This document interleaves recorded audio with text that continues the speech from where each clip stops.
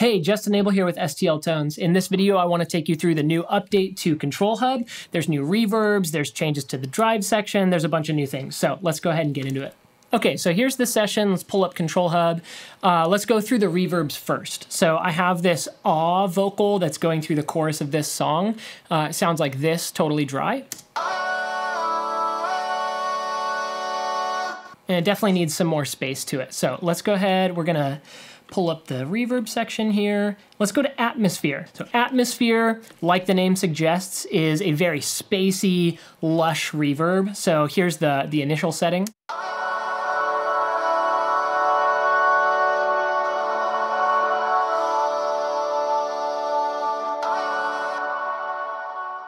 So as you can see inside of Atmosphere, there's a bunch of different types. So I'll just start kind of scrolling through them so you can get a taste.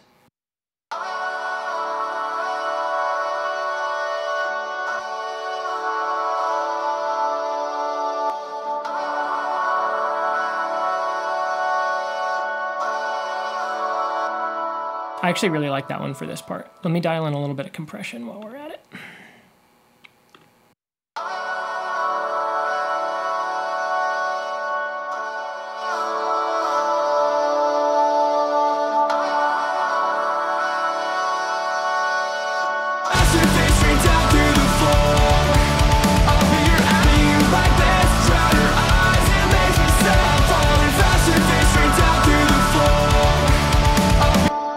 I love this bass on that. that sounds rad.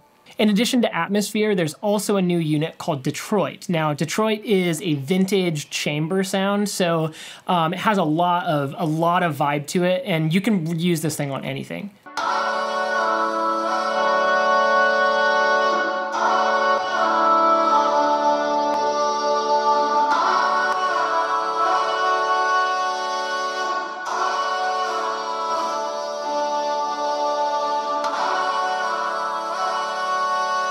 Hey, I like how that sounds too. And as you can see, there's a bunch of different types inside of this as well. So for this next example, let's move over to the lead vocal. As you can see, I've bypassed all of the plugins and here's a default control hub. This is what it sounds like with nothing on.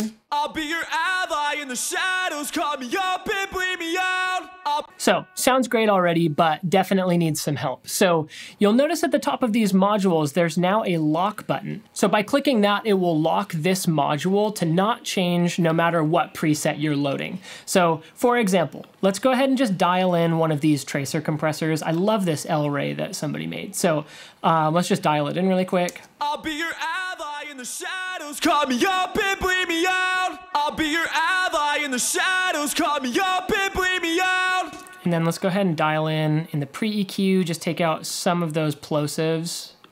I'll be your ally in the shadows, call me up and bleed me out. I'll be your ally in the shadows, call me up and bleed me out. So that's sounding great. So say I just, I know I want that compressor character. So I'm gonna lock the dynamic section and lock the pre-EQ section. And then let's go ahead, let's load up an F-Read Shippen vocal preset. So you can see all of the parameters changed on the other sections, but the two sections that I locked did not change. And as I scroll through presets, you will see that those parameters just stay the same. Let's go ahead and listen to this. I'll be your ally in the shadows, call me up and bleed me out. I'll be your ally in the shadows, call me up and bleed me out. I'll be your ally in the shadows, call me up.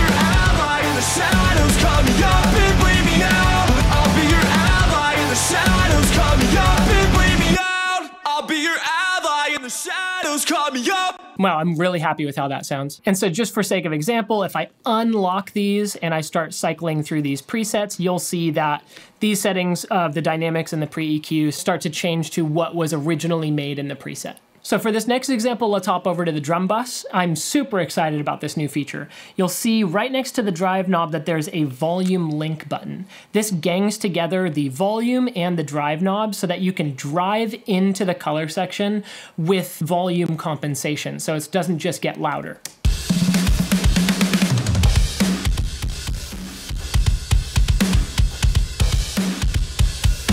And last but definitely not least, there have been updates to the Trace Exchange. So now you'll notice that there is an infinite scroll, so you don't have to click over to uh, page two or three. This just keeps going and going, so it makes it really easy to find what you're looking for or just kind of browse around.